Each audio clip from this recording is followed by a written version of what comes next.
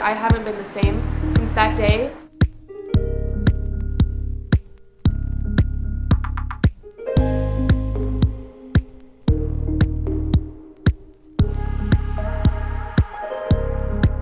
Hi guys, my name is Yael. I was born and raised in Hawaii. Um, I'm 18 years old. I just finished my first year of college and I am attending SOS here in Japan 2019. So today I wanted to share my testimony with you guys. Um, I was raised in the church. I'm a pastor's kid actually. I'm one of those kids. Um, I have a really large family. I'm the second of six kids. Um, just background on my own family. My mom's from Israel and my dad was born and raised in Hawaii, which um, that's again where I was born and brought up. So I have um, a similar to Okinawa upbringing, I have that island background, obviously not super Japanese, but um, yeah.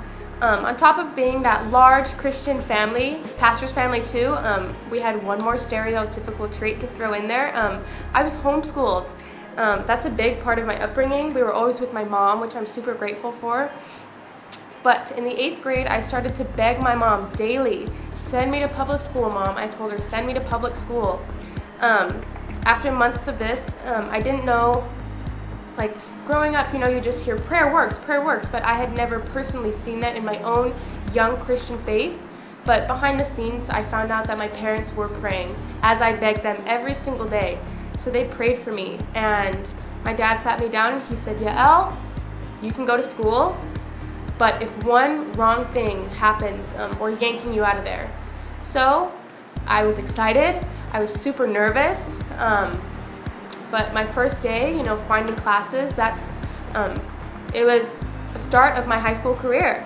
Um, I took the bus every day. I would walk up the hill and I would see um, girls and guys um, older than me, but I in my mind, I hadn't been exposed to a lot of things of the world, so I assumed that only really, really bad kids were the ones who were sinning, were the ones who were tripping up, were the ones who were partying, were the ones who um, dressed immodestly. I thought that that was only really bad kids, and I would never be that person. Um, I, I really didn't have an opportunity to see the world other than this first initial experience at only 13 years old. Um, I started going to a youth group with a friend that I met at school. Um, at that time, I had only been exposed to Calvary Chapel, which I'm super grateful for my upbringing. Um, at that youth group, we didn't have to bring our Bibles, we didn't have to be accountable. Are you in your Devos? Do you have a prayer life? And even being a young Christian, I was convicted by that. I remember that they would, um, we would look at a picture at youth group and like, um, where are you in your faith? Are you diving deep into your faith with the Lord? But we would never talk about um, the gospel. We would never talk about the Bible and just really um, get into that word. And those, the mentors, great, great, wonderful people. I would never bash them, but they never, um, they never motivated us to get into our devotional life. Um, and that's not to bash that church. They, I'm sure that they do a lot of really awesome things, but for me personally, I wanted something that was more um, from the Word, as Pastor Chuck Smith says. Um, so this was my freshman year, and then fast forward to my sophomore year, um, this sin that I saw in the world at my school, I, I became comfortable with it. I didn't have that word to fall back on, so I began hanging out with these people who I thought were sinful and I began doing the things that they would do. I would, um, I fell greater and greater into my sin and my lies and my bad habits. Um, it became so bad that I, I messed up real bad, and I got grounded from January until the end of the school year. And my parents just, they said, "You're only allowed to participate in sports. It's the only way you're getting out of the house." So after my season was over, I um, I said, hey, let's, I told my friends, hey, let's join the other sports team. So we did. Um, on that sports team, the girls were so crude to me. They would say mean things behind my back. I would find out.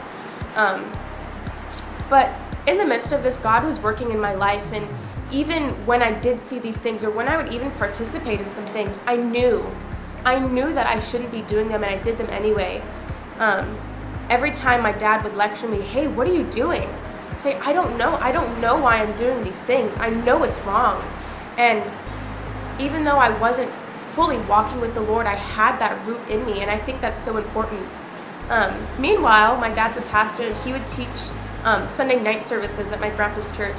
Um, of course, if my parents say, hey, you have to go, I, I wouldn't go. So I skipped out on Sunday nights just about every week. I would say I'm tired. I would make the excuse I have homework. Um, but that Sunday night, it was early March of 2016, I sat in my room looking at the gross things that people said about me, just so alone, sitting in the quiet, and looking at my desktop computer, I, I felt the Lord next to me in my room. And that was something that I had never experienced before. I felt the presence of the Lord, and I knew that that was Him. Um, I began crying and crying and crying, not knowing what to do. Um, I talked with my sister. My parents came home from church, and in, in our kitchen, I, I just hugged my dad and I cried to him. I said, Dad, I met the Lord. And he looked at me and he said, We prayed for this. And of course, that made me just cry harder and harder, but I knew that I had met the Lord, and that is who I wanted to follow. My mom says that that point was critical for me. She said that I haven't been the same since that day. Obviously, I'm not perfect by any means, any stretch of the imagination, um, but my heart was changed that day, I can tell you. Two weeks after that happened, um, it was very routine for me. I attended my fourth year of Calvary Chapel Spring Break Camp. Um, I had gone 7th, 8th, 9th, and now it's my 10th grade year. But, and I was excited, but I wasn't stoked. I wasn't excited in a way that, hey, this is going to grow my Christian faith. I thought it would be the same thing. I would go, I would be convicted, and then two weeks later, I would go back to school and I would fall back into sin. But I went, and that year, March of 2016, I gave my life to the Lord fully, and I've never ever been the same. Um, back to when I was not walking with the Lord, every time that I would mess up, my dad would tell me, You're going to the Christian school that your, uh, my older sister graduated from. And I told him, No. I said, I'll lock myself in my room if you make me go to that school. I will not go to a private Christian preppy school. I did. um, my mom told me, because I said, Mom, if I go to that school, I lose out on my honors programs, I lose out on my scholarships, I lose out on my sports how am I going to go to college? We can't afford that. And she gave me the verse Matthew 16, 26, and I'll never forget. She said, You can make all the money in the world, you can be the smartest person ever. But if you're in an environment that doesn't push you to love the Lord with all your heart, mind, and soul, then if you die with nothing, who are you? Where do you go after? What's the point of that all? And I didn't take that from an ignorant heart. I took that from a Christian perspective, and, and I understand, and I'll never forget that what my mom said to me there. In the fall of 2016, I attended Trinity Christian School. Two years later, in the spring of 2018, I graduated from the school.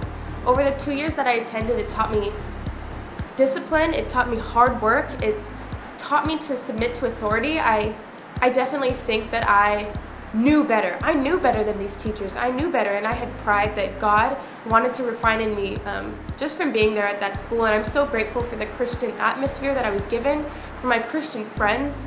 Um, starting my senior year, I had things happen to me that I was so mad at the Lord. I thought, how can you do that to me? How could you take away from me what I love? And I went, I fell back into my sin. And my best friend in that school, she said, What are you doing? there are so many better things that the Lord has for you. Um, and that's just things that I remember that I'm so grateful that the Lord has put these people in my life. Um, I graduated that school and I started going um, back into a public community college, which I just finished this first year. But I, I was so scared. I thought, what if I go back and there's just these things that tempt me and they scare me in class and people don't agree with me, but the Lord is so true to his promises and he never leaves me. He doesn't forsake me. He is with me when I get targeted as Christian or for my political views or from my moral stances. God is there and, and I can assure you that I wouldn't I could not keep going to that school if I didn't have the friends telling me, you can do it. I'm here with you. I understand. I have these same struggles at different schools. Um, and every time I speak up, I have that that confidence in the Lord that He has my back. And just because I've given my life back to the Lord three years ago, that does not mean that everything is easy. It's a daily choice that I make every morning. I wake up and I have to think, is this going to glorify me or is this going to glorify the Lord? Everything I do. Um, I deal with things like any other person. I mess up. I've gone through months and months of just guilt and pain and depression over my sin. Um, but every time that I reach out to a mentor, just texting, hey, I, I need help, or if I go into my Bible, it's just a burst of encouragement that you can't get from anything else, not from the world, not from pleasure, not from money, not from anything. Only the Lord can give you that. Um, I'm so refreshed, and the Lord is the one who remains faithful, especially when we're young. Um, so many people, they're going off to college, they're moving here, they're doing this, and you, of course, trust in your friends, believe in them, but the one person that you can know that will remain faithful through the end of time is the Lord. And so I would encourage you, if you're in a time of doubt, if you're in a time of worry, if you're in a time of sadness, or just a dry patch in your devotions, reach out to someone. You are not alone. You have mentors, you have church leaders, you have youth leaders, you have anyone. They want to pour into your life. Please reach out to them. That's what they're there for. Um, a verse that I live my life by from when I was five years old in Awana Cubbies is 1 John 4.19 and I'm sure you can go on and on and on about this verse. There's so much to pull from it, but it, it says that we love him because he first loved us. And so short, so simple, but it just reminds me that I love the Lord because he loved me first. It was him who granted me love. And when he gives that to me, that's so that I pour it out. And he refreshes me continually with his love so that I can love others.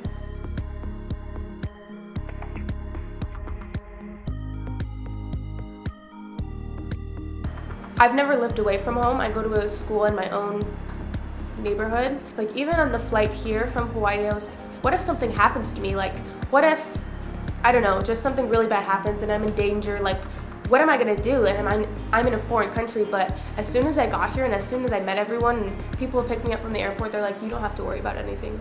And I've definitely felt like the Lord here and not because things are dangerous, because things are so, so safe here, but just the Lord has protected us um, traveling. But the people here in Japan are so nice. They want to help you.